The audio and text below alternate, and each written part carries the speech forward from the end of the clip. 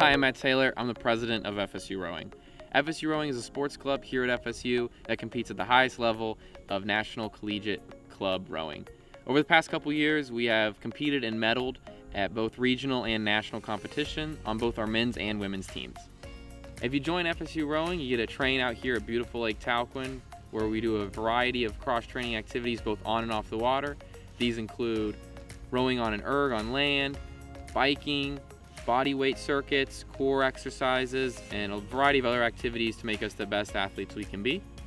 Joining FSU rowing was really one of the greatest decisions of my college experience, and it really has defined my time here at FSU.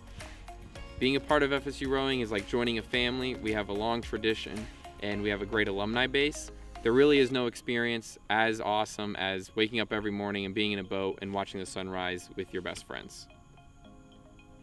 Here at FSU Rowing, we welcome everyone, regardless of background or experience level. We really hope to see you out at the lake, and for more information on joining, go to floridastaterowing.com.